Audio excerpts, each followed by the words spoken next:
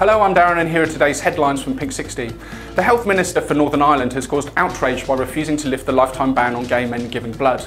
Democratic Union Minister Edwin Poots told the Stormont Assembly on Wednesday that the current position in Northern Ireland should not be altered. An Australian man with a Speedo fetish is being sued by the brand for breaching its copyright. 24-year-old Dave Evans is being sued by Speedo over a number of websites he owns which show men posing in and out of skimpy swimwear. Two men from Leicestershire in the UK have been jailed for attacking and robbing a gay man. Andrew Davis and Jonathan Huckerby were jailed for inflicting grievous bodily harm with intent and theft.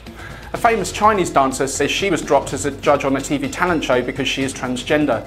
Jin Xing had sex reassignment surgery in 1996. She was booked to appear for eight weeks on Fei Tong Fan Xiang, a show for professional singers. And finally, online anti-bullying campaign It Gets Better celebrates its first anniversary this month. The viral campaign is the brainchild of US columnist Dan Savage and his partner Terry Miller. It's aimed at reassuring queer youngsters that after high school things do get better.